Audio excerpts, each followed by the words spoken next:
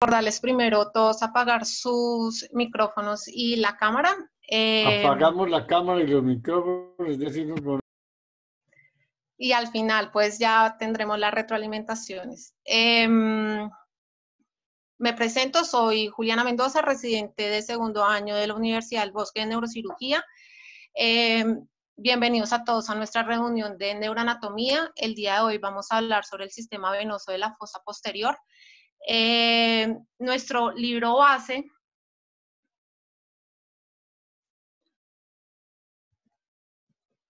permítame un momento. Nuestro libro base es el de Roton y esta eh, revisión se hizo a partir del capítulo 3 del libro. Entonces, las venas de la fosa posterior se dividen en superficial profunda, las del tallo y las de las venas del sistema venoso. Vamos a empezar con las características de las venas superficiales en donde eh, van a estar las venas superficiales del vermis, eh, los hemisferios y las amígdalas. Y eh, las caras que se van a drenar van a ser las caras corticales, tanto tentorial, la cara suboccipital y la cara petrosal. Estas caras van a tener una relación en cuanto a los senos, entonces em,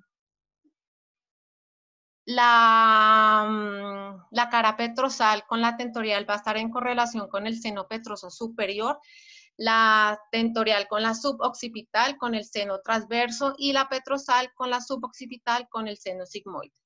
Entonces, estas son las venas que vamos a ir eh, revisando durante, pues, en la parte de la, del, drenaje superficial de la fosa posterior.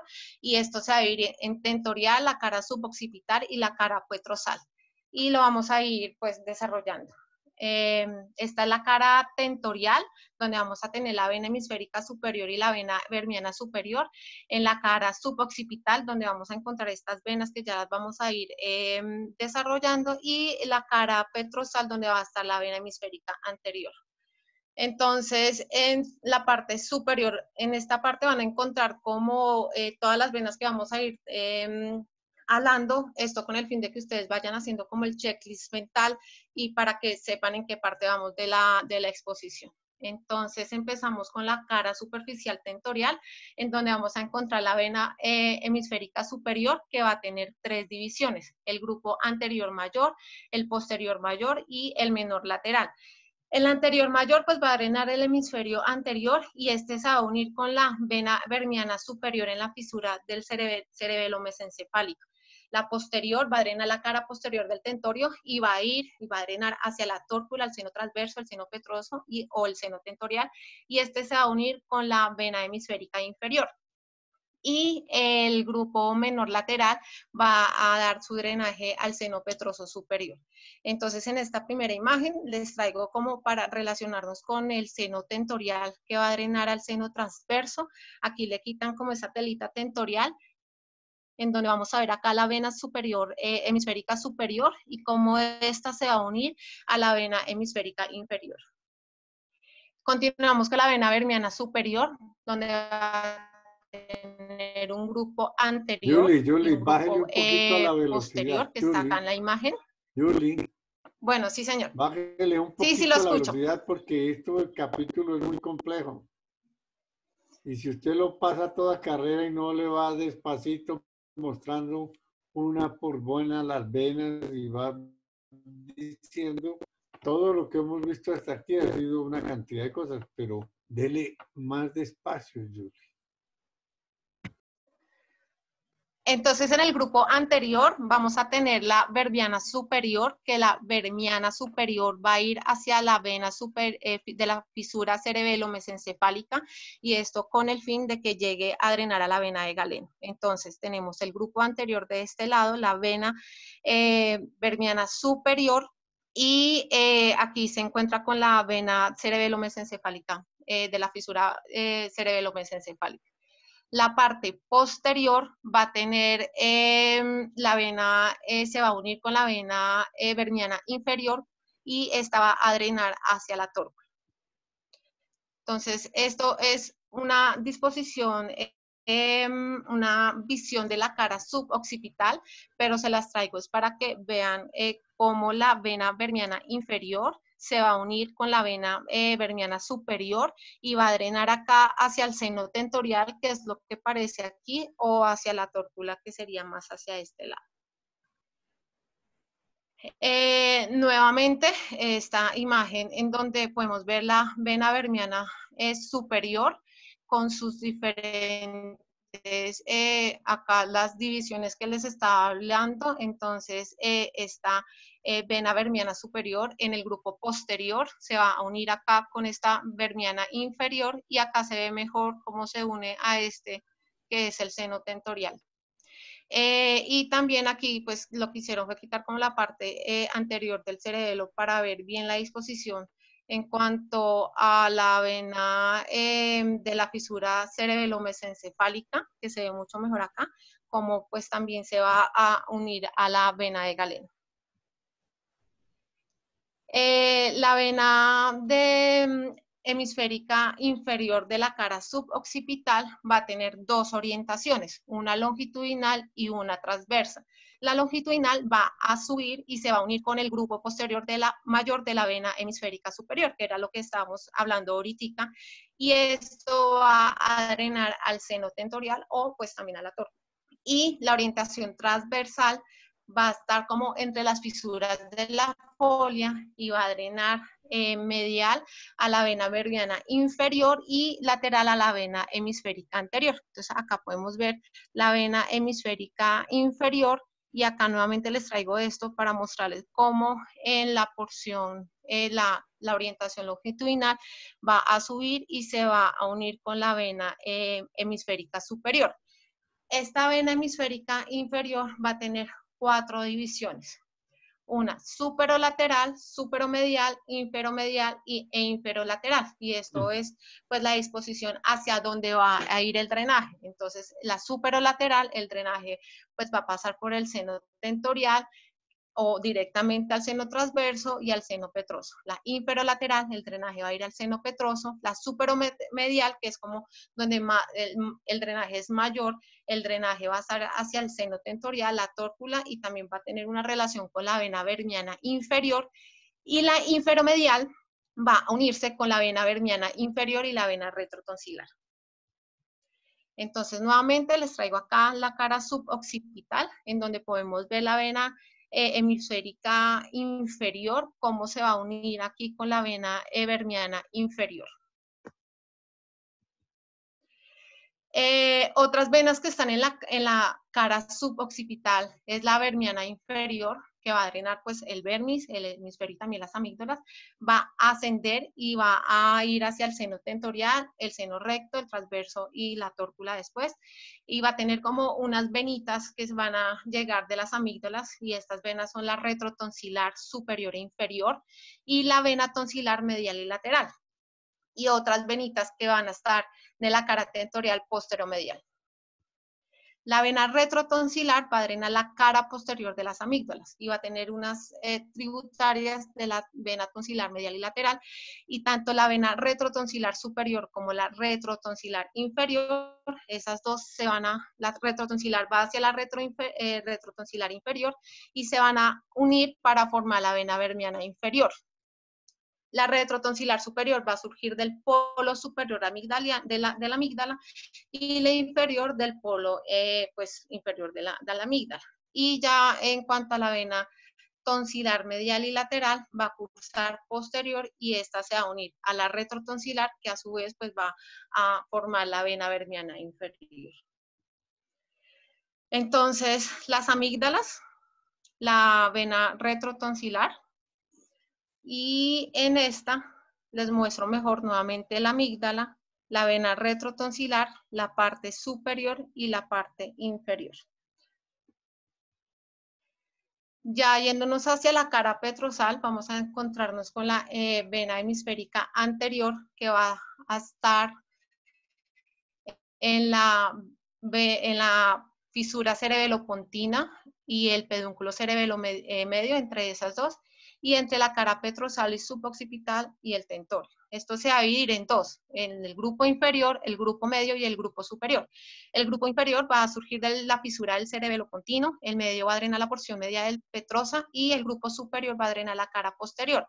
Lo importante es que el grupo inferior y el medio se van a unir y esto va a formar la fisura, la vena de la fisura cerebelo continua. Entonces, podríamos decir que esta es la vena hemisférica anterior, esta es la vena hemisférica eh, anterior la porción medial y aquí se unen para formar, perdón, aquí, aquí se unen para formar la, la vena de la fisura cerebelopontina. En esta se ve un poco mejor, entonces esta sería la vena hemisférica superior, la porción eh, superior. Acá estaría la porción inferior y media probablemente más adentro que se van a unir y van a formar la vena eh, de la fisura cerebelopontina. Entonces ya terminamos la parte superficial y continuamos con la profunda, que las características es que la parte profunda va a, van a estar las venas de las fisuras. Entonces, ¿qué fisura? La cerebelo-mesencefálica, la cerebelo-vulvar y la cerebelo-pontina y va a tener correlación con el cuarto ventrículo y con los pedúnculos. Entonces, todas estas son las venas que vamos a ir hablando durante esta parte. Eh, se va a dividir por la fisura cerebelo-mesencefálica, la fisura cerebelo-vulvar y la fisura cerebelo-pontina. Nuevamente les recuerdo que en la parte superior pues está como todas las venas que vamos a ir hablando. Vamos a empezar por la vena del pedúnculo cerebelar superior, que va a estar profundo y lateral inferior al pedúnculo cerebeloso superior. Eh, va a estar drenando el núcleo, el pedúnculo cerebelar, el núcleo dentado, el pedúnculo cerebelar superior y las paredes de la fosa cerebelo-mesencefálico y el recorrido va a estar entre los pedúnculos, va a subir y se va a ir lateral hacia la língula y todo esto con el fin de eh, formar el, el tronco de la, vena de la fisura cerebelo-mesencefálica. Entonces acá vemos las dos eh, venas eh, peduncular eh, pedúnculo cerebelar superior, cómo se van uniendo, y aquí llega a la vena de la fisura cerebelo-mesencefálica. La primera imagen que de las que voy a hablar es una visión como superior, un poquito lateral, en donde vemos eh, la fisura cerebelo-mesencefálica eh, y la vena cerebelar de la fisura cerebral mesencefálica, cómo se relaciona aquí con la vena vermiana superior y aquí un, como un aumento de esa imagen en donde, donde se ve mucho mejor la relación y cómo esto llega a la vena de galena. La vena pontotrigeminal, el origen va a estar en el surco interpeduncular, va a pasar sobre el quinto par, va a drenar el seno, va a drenar hacia el seno petroso superior y eh, va a unir irse con otras venas que son las que voy a estar hablando mucho durante la charla, que es la peduncular cerebelosa superior, la mesencefálica lateral, la hemisférica superior y la transversa pontina, porque todos estos van a ir a la vena del seno petroso superior para drenar en el seno petroso superior. Entonces aquí vemos cómo eh, está la disposición de la vena pontotrigeminal en la fisura y mucho mejor acá se ve la relación de la vena, eh, de la vena pontotrigeminal con eh, sobre el quinto par, también con eh, la vena mm, transversa pontina y con la arteria cerebelar superior. Encontramos también la vena tectal, que va a estar cerca a los colículos superior e inferior y va a cursar sobre la cisterna cuadrigeminal. El drenaje va a ser hacia, por la fisura cerebelo-mesencefálica, la superior.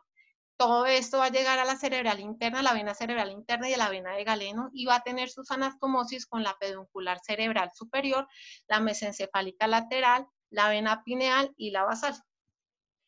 La vena de los pedúnculos, del pedúnculo cerebelar inferior, el origen va a ser eh, paralelo al pedúnculo y va a tener dos disposiciones, una superior y una inferior. La superior va a estar por la fisura del cerebelo vulvar y en el receso lateral se va a unir a todas estas venas.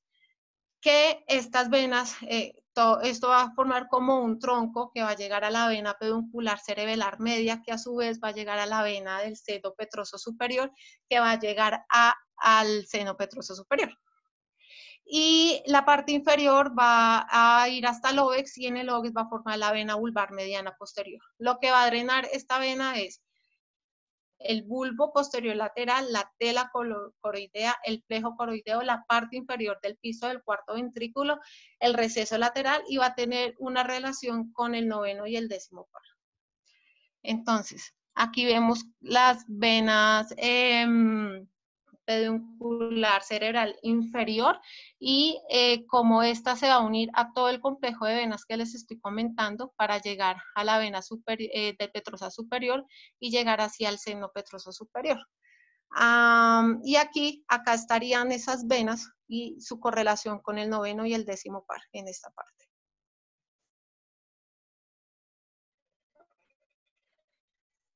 La vena de la fisura del cerebelo y su recorrido va a ser por los flóculos, pero va a tener una disposición tanto dorsal como ventral. Dorsal es porque va a estar correlacionada con la vena hemisférica anterior y la vena de la fisura cerebelo-pontina y ventral entre el flóculo y el foramen de Luschka se va a unir al complejo de venas que les estaba hablando para llegar al drenaje del seno petroso superior. Las tribus podemos ver la correlación que tiene, la tera coroidea, el, el plejo coroide, la sustancia blanca periventricular, el núcleo dentado y el vernis posterior. Entonces, aquí eh, vemos la vena de la fisura cerebelar media y cómo aquí va haciendo todo su recorrido, que en este corte sagital se ve mejor para llegar a la vena de peduncular, cerebelar media para llegar a hacer el llevar el drenaje al seno petroso superior. La vena supratonsilar va a tener un origen en el polo superior de la amígdala cerebelosa y va a pasar por el velo medular inferior. Va a drenar la mitad inferior del techo del cuarto ventrículo y el drenaje va, eh, va a recibir la, o va, a llevar mejor la va a llegar a la vena fisur, de la fisura cerebelo-vulvar y de la vena vermiana inferior. La vena coroidea va a drenar pues la tera coroidea y se va a dirigir a dos venas, la vena de la fisura cerebelo-vulvar y la vena del pedúnculo cerebelo, eh, del pedúnculo cerebelo inferior. De la vena de la fisura cerebelo-vulvar va a tener dos disposiciones, una medial y una lateral, que van a estar en, todo esto va a estar en, estrecha correlación con el segmento del plejo coroideo y donde va a llevar como esas venitas de la parte medial rostral y la parte lateral medial. Yéndonos hacia la disposición lateral de la vena la fisura cerebelo-vulvar, esta se va a unir con el pedúnculo cerebelo inferior y va a estar en correlación con el segmento lateral del plejo coroideo de la parte lateral. Cuando solamente va directamente a la vena del pedúnculo cerebelo inferior, va a recibir esas venitas del segmento medial del plejo coroideo de la parte caudal.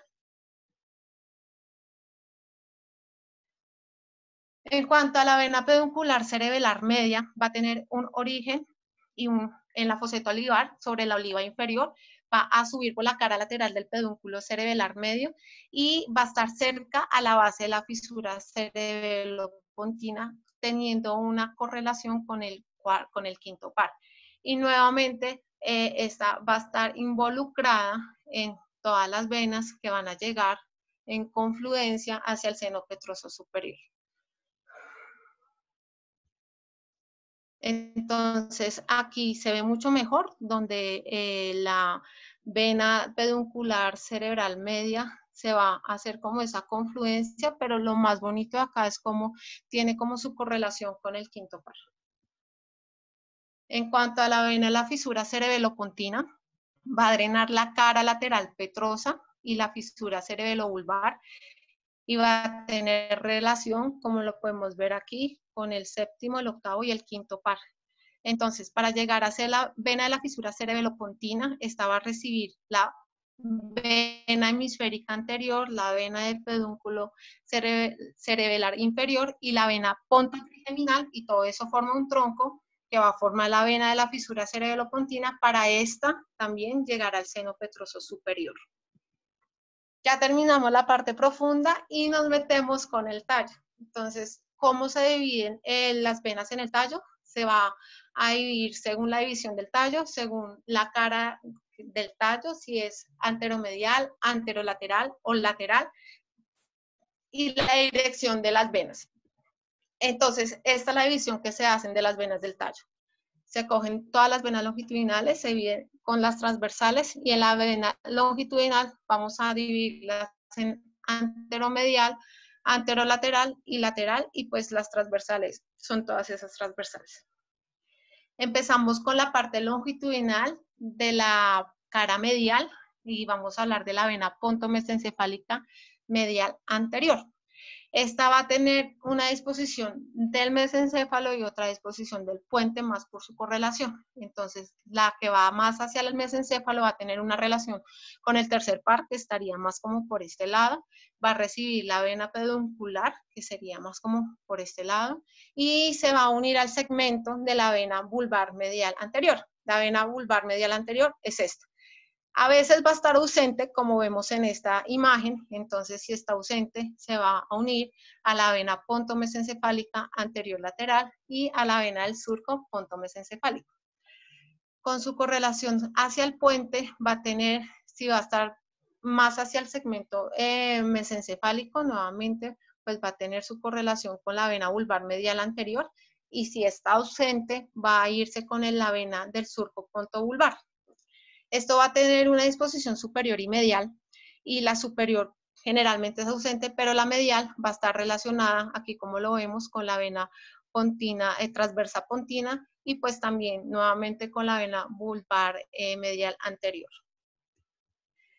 La vena vulvar medial anterior, el recorrido es entre la fisura mediana anterior del bulbo, como lo vemos acá va a tener una disposición superior y otra inferior. La superior va a estar correlacionada con la vena pontomesencefálica medial anterior y si esta va a estar ausente, pues se va a relacionar con la lateral anterior. La inferior, que pues iría a este lado, con la, con la vena medular anterior y con la vena vulvar lateral medial, que sería la vena preolivar.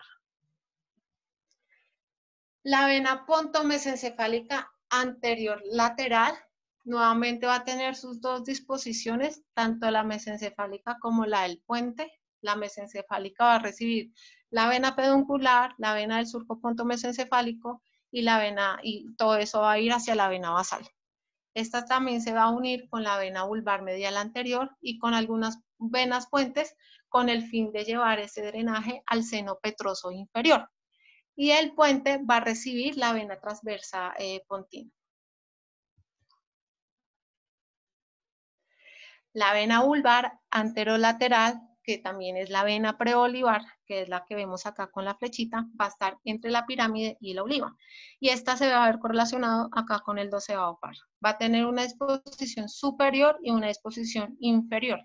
La superior va a estar correlacionada con la vena del ponto mesencefálica medial eh, anterior y si esta va a estar ausente, pues se va a correlacionar con la lateral anterior.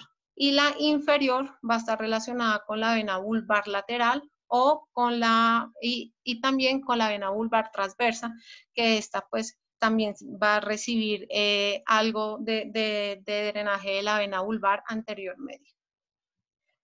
La vena mesencefálica lateral va a estar en el surco mesencefálico lateral, cerca al cuerpo geniculado, que va a, llegar, va a llevar todo el drenaje de la vena basal. Esta va a drenar el mesencéfalo posterolateral y va a tener una relación con la vena hemisférica superior, la vena tectal, la vena del surco ponto mesencefálico y la vena ponto trigeminal.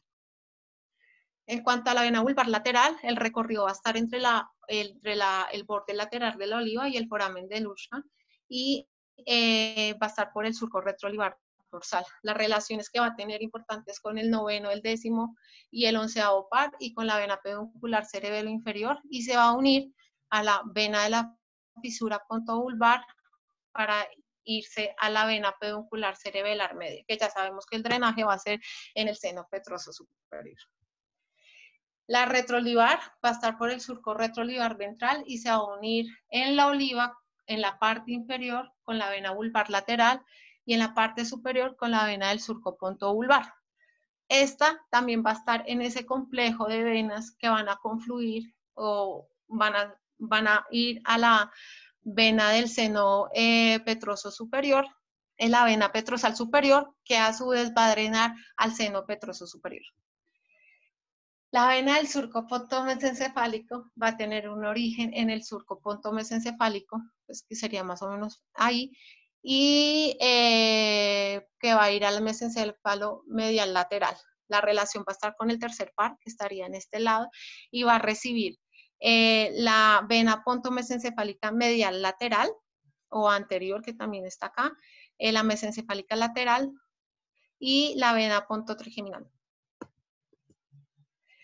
La vena del surco ponto vulvar Em, eh, el origen va a estar en el surco vulvar y va a encontrarse con todas esas venas longitudinales anteriores. Entonces, recordar que las venas longitudinales anteriores son estas venas. Entonces, eh, donde vamos a encontrarnos con la vena pontomesencefálica medial anterior y anterior y lateral, y la vena vulvar medial anterior y anterior lateral.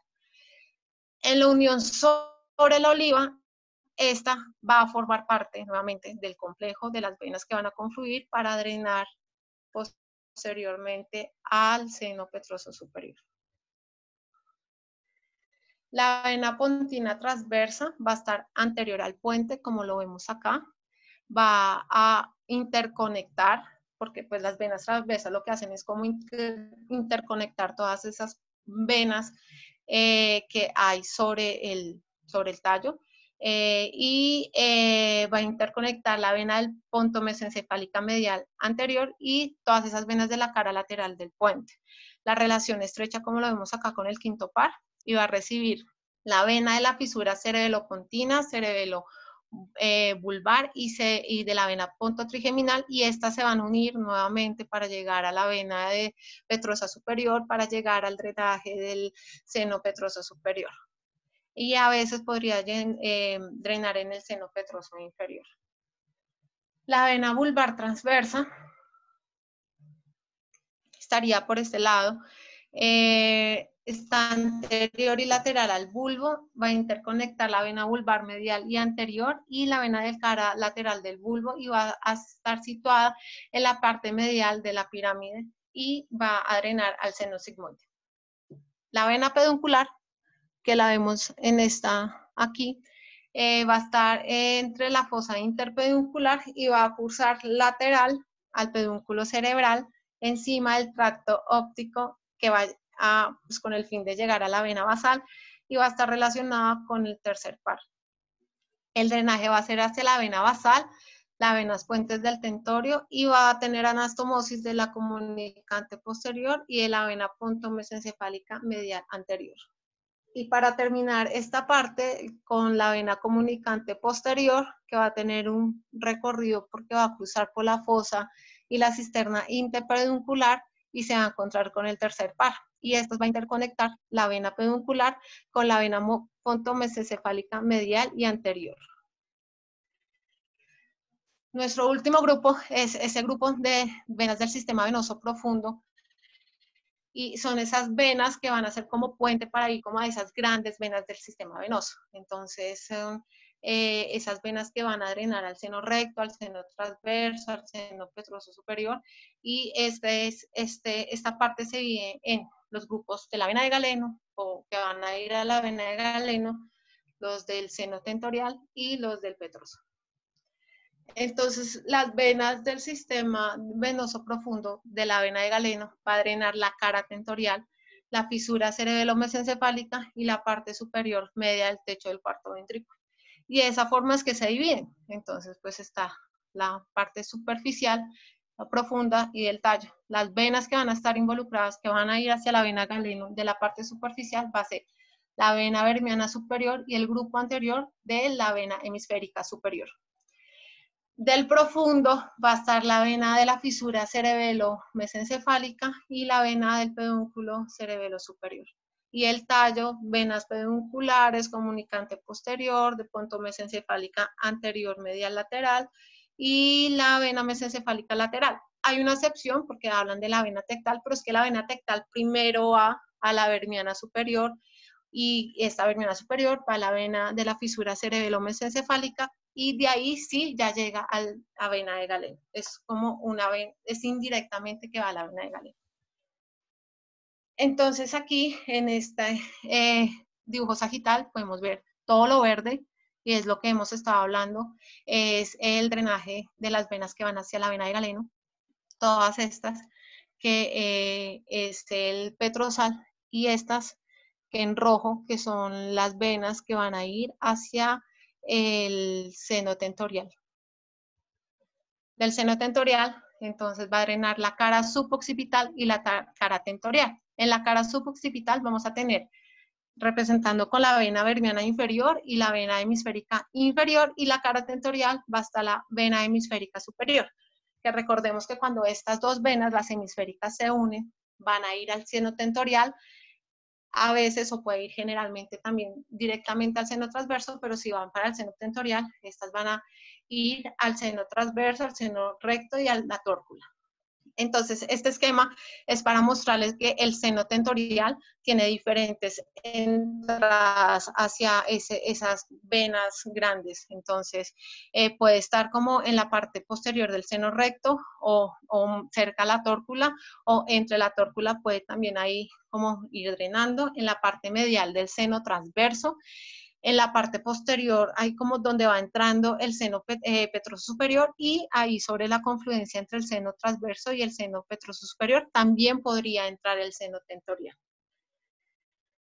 Nuevamente acá les muestro para recordarles eh, el seno, pues todas estas venitas, como ves la vena hemisférica superior, la inferior, la vermiana inferior, todas estas van a drenar a la tórcula, al seno recto, al seno transverso. Indirectamente también vemos involucrada a la vena verbiana superior, porque recordándoles la, el grupo posterior de la vena vermiana superior se va a unir con la vena vermiana inferior y este grupo así es que va a drenar hacia la parte de la tórcula y el, del seno transverso. Ya aquí una parte eh, mirando la cara suboccipital, eh, en donde pues vemos aquí cómo sube la, parte longitudinal de la vena permiana inferior, la correlación que tiene pues con todo esto para llegar al seno transversal.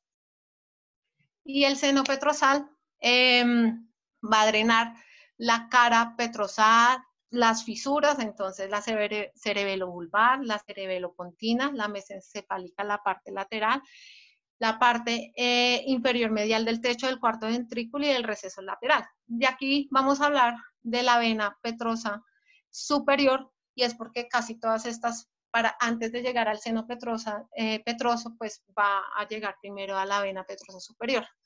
En Roton hicieron como dos, dos grupos de pacientes, dos grupos de cadáveres, uno de 20 y uno de 34. Entonces, eh, y eso es con el fin de mirar la disposición de la vena petrosa superior, donde es más frecuente, ya que la vena petrosa superior tiene una disposición intermedia, medial y lateral. Y dependiendo también de esta disposición, pues va a estar correlacionada con este, estas venas. Entonces, se dieron cuenta en el grupo de pacientes, de 20 pacientes, que en un 64.7% estaba, eh, pues se veía esta, esta, la, esta vena intermedia y en el grupo de 34 en un 95%. Después de esto sigue como la disposición lateral, en donde está en una relación del 26.5% al 45%, eh, al, 45%, y las venas que van a estar lateral son las eh, que, que, van a ir lateral o que van a estar en correlación son las del grupo lateral de la vena hemisférica superior y la vena de la fisura cerebelosa continua. Y la que menos tuvo fue la medial, que fue 8.8% y un 15%, y ese, grupo va a tener eh, como correlación con estas venas, la transversa, transversa pontina, la pontotrigeminal, la cerebral peduncular media y la fisura cerebelo-pontina. Entonces, pues, es casi que toda la parte del tallo que va a estar como drenará al, al petroso, em, al seno petroso. Aquí les voy a mostrar, eh, en el Neurosurgical Atlas tenemos pues la posibilidad de ver en 3D eh, toda la parte venosa del tallo. Y pues debería correr, pero bueno, la idea es mostrarle un poco más de manera em, tridimensional cómo se vería la disposición de cada una de las venas y la correlación, digamos, con lo que estamos hablando de la transversa pontina con el quinto par. Y eh, acá esta sería la transversal. Ah, bueno, entonces, eh, pueden ir oprimiendo los numeritos y va saliendo como el nombre de cada una de las venas. Em,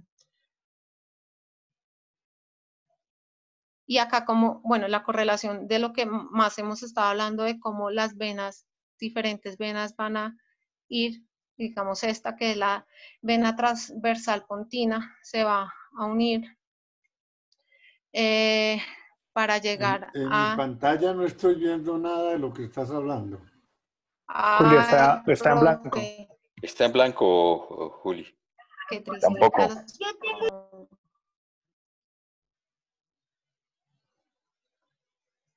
Está solo el cursor ahí en el centro.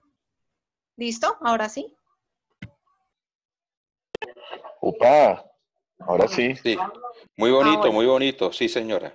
Entonces, lo que les estaba hablando, entonces el Neurosurgical Atlas tiene eh, esta, em, pues tiene varios modelos en 3D eh, y pues el único que tiene venoso de fosa posterior son las del tallo. Entonces, les estaba mostrando que se puede pues ir volteando y lo que más me interesa es mostrarles es cómo todas esas venas que estuve hablando que van a llegar al seno petroso superior se ven correlacionadas aquí de una manera muy bonita y se ven correlacionadas con el quinto también. Entonces esta sería la transversa pontina que van a llegar también acá a la vena, em, esta, la vena petrosa superior y ahí ya llega al seno petroso eh, superior de este lado. Eh, ¿Puedes girarlo más lento? Ok. Ahí.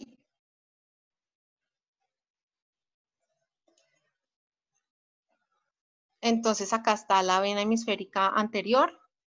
em, la vena de la, de la mm, fisura cerebelopontina. Aquí la vena pontotrigeminal. Les estoy mostrando cómo, cómo se va guiando y aquí ya cómo llega al seno petroso, eh, la, perdón, a la vena superior petrosa. Y de este lado tendríamos la transversa pontina que va aquí, se sigue, se correlaciona acá con el quinto par todas estas y va subiendo y se une nuevamente a la vena superior em, de petrosa superior. También podríamos ver aquí ah, em, la vena vulvar medial anterior y la pontovulvar, la vena ponto eh, vulvar del surco pontovulvar y aquí estaría la vena medular eh, medial anterior.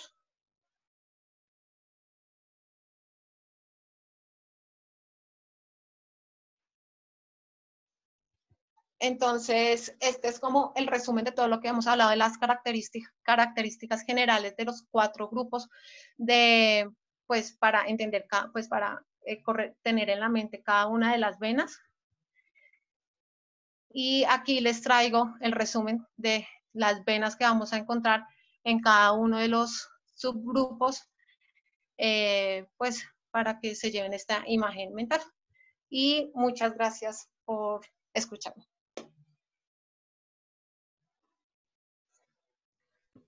Gracias. Eh, gracias, Juli. Muy amable, muy gentil por el esfuerzo. Muchas gracias por mostrarnos ese sistema venoso que le cuesta a uno trabajo de grabárselo. Muchas gracias, Juli. Buenas noches. Juli, ¿cuántas venas cree que mencionó? ¿Tiene la lista? Aquí por eso hice este cuadro. ¿Cuántas cree que mencionó? Mm, yo creo que más de 20. Más de 20, pero por ahí pasó hace rato. Esto para, para llamar la atención de la importancia del sistema venoso de la fosa posterior que uno la tiene, por lo menos en el tiempo que yo anduve por la neurocirugía, dentro de la sala de, de cirugía, ese capítulo de las venas de la fosa posterior uno la tenía medio olvidada. Quedaba con los senos y lo que pudiera llegar ahí. Y muchas de las complicaciones postquirúrgicas se deben precisamente al desconocimiento del sistema venoso de la fosa posterior, que algunos cirujanos con mucha tranquilidad llegan y van coagulando lo que les estorba. Y esos, son los grandes edemas post, postquirúrgicos que se llevan el paciente, especialmente en la fosa posterior, que resiste tan poco edema, ¿no? Muy bonita su presentación, pero se salva con el último capítulo. Eh, lo que mostró de qué libro es, que no, ese no lo tenía yo en mi cabeza. ¿De qué libro? Profesor, esa es una aplicación, profe, que usamos que llama Neurosurgical Atlas. El Neurosurgical Atlas, correcto. No, lo tengo yo en mi, en mi biblioteca. Me lo tienen que prestar. Es este. Eh, es, una, es una página que realmente es muy buena, no sé si acá, eh, y no solamente está para la visión de esto, sino pues tiene los abordajes y realmente es muy didáctica para aprenderse toda la neuroanatomía. No, y es que ayuda mucho para, para, para entender mejor el sistema venoso, porque uno finalmente tiene que como poner más bien el grupo de venas que drenan hacia el seno lateral, las que llegan al seno recto, las que llegan al seno petroso, las que llegan al seno petroso inferior y va uno como poniendo el capítulo de venas por senos como para poder entenderlas mejor porque este listado tan grande, no sé si a ustedes que tienen el cerebro más joven se les quedó en la cabeza todo lo que aquí vimos o si tenemos que volver varias veces para tener alguna memoria. Pero este, pues esa imagen que le permite a uno poner su cursor sobre el punto, sobre el número y, seguir el curso de, la, de las venas me parece muy interesante. Pues por eso les traigo este como resumen. Muchas gracias Yo quiero, por su presentación que estuvo muy bonita. Quiero hacer un comentario si es posible. Claro. Fernando Jaquín. Mira, eh, eh, Juli, muy bien. Es un tema, no es fácil, es un tema difícil, pero eh, ¿qué le sirve a uno de esto? Lo que dijo el doctor Aristizábal, yo creo es muy importante. Yo por principio en la fosa posterior no coagulo ninguna vena en cirugía. Hay gente que dice, y lo he visto y lo he hecho porque ha tocado a veces que se llega a dañar la vena, la petrosa superior, o superficial, perdón, uno la puede coagular y generalmente no pasa nada. Pregunta que dice el doctor Oyeman, que operaba muchas fosas posteriores en Boston. Sin embargo, hace poquito hicimos una revisión y hay un grupo de gente que encontró que un porcentaje muy bajito sí pueden hacer eh, infartos venosos. Entonces, el consejo es evitar coagular venas en la fosa posterior, si es posible. Ojalá no se le rompa ninguna vena, pero es, es catastrófico. La fosa posterior es otro compartimento muy delicado y mucho más delicado, diría yo, que, el mismo cerebro. Entonces hay que tener eh, mucho cuidado con eso. Ese es el único comentario y muchas gracias. Muy bueno, muy bueno el comentario. Doctor, doctor Jorge Aristizábal, yo me acuerdo que en las clases de anatomía alguna vez nos, también nos dio un mensaje de la anatomía de las venas y me gustaría escucharlo. Él tiene una filosofía muy clara en torno a eso, la fosa posterior. Doctor Jorge. Hola, buenas tardes. Pues lo sí, no, ya yo pienso que ya han dicho todo. Yo lo que pienso es que las que están sobre la superficie tienen mucha anastomosis y son las quizás las que uno toca más. ¿Cuáles son las dos que, que, que yo siempre tengo dificultades? Son las que están hacia el tentorio sobre el cerebelo, que uno siempre tiene que jugar mucho con ellas para esos abordajes. Cuando va la pineal se tiene que saber las cinco venas grandototas que van a, a la vena de galeno para saber si no las daña. Y la vena petrosa superior, lo que dijo Fernando, yo un día a mí se me reventó una, el paciente un infarto cerebeloso, le entré, le quité medio cerebelo y eso fue una catástrofe que todavía me acuerdo. Cuando uno trata la superficie, a diferencia de lo que le pasa a supratentorial, uno las puede manipular más fácil y, juega más con ellas. En el cerebelo uno no tiene que tocarlas mucho y, esa es la gran ventaja. Pero tiene las dos que van hacia el tentorio y hacia la vena de galeno, que siempre que uno está operando, esas se revientan o sangran. Y, y, yo lo que hago es que tapo el sangrado y sigo la cirugía. No me pongo a, a buscar a ver por qué hace uno más daño. Y la petrosa superior, si es una vena que uno, como dijo Fernando, la debe ver, la debe cuidar y no la debe sacrificar.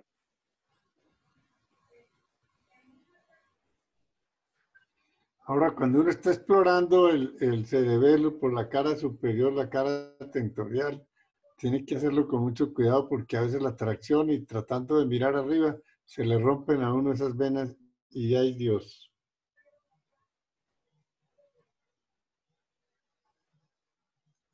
¿Ya terminamos? Bueno, muchas gracias, gracias a todos. Julianita, tomar agua. Un saludo grande. Vamos a seguir, posiblemente vamos a meternos en la próxima sesión con mucho de columna. Entonces, no sé, el que encuentre artículos buenos de, de anatomía quirúrgica de columna, vamos a ir desde lo básico hasta lo, hasta lo más complejo y, y al último vamos a tratar de, de, de hacer unas charlas de anatomía quirúrgica.